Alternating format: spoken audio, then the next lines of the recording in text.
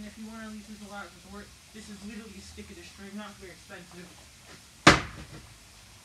Yeah.